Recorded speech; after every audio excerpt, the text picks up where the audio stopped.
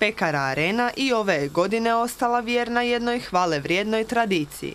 Umjesto da u predblagdansko vrijeme tiskaju kalendare i troše novac na manje važne stvari, od 10. do 20. prosinca odlučili su smanjiti cijenu svih vrsta bijelog kruha. Svake godine e, šef Juljezin Čena stavi nešto od proizvoda na akciju, tako i ove godine isto kruhu pola cijene. Svake godine uglavnom pred ove blagdane, pošto ljudi žive kako žive.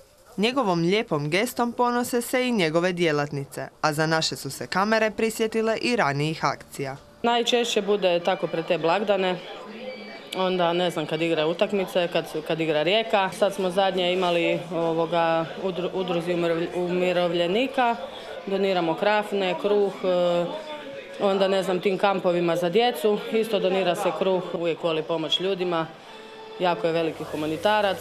Isto misle i građani. Vlasnici ove pekare su uvijek bili tako humani i dobrotvorni i tako.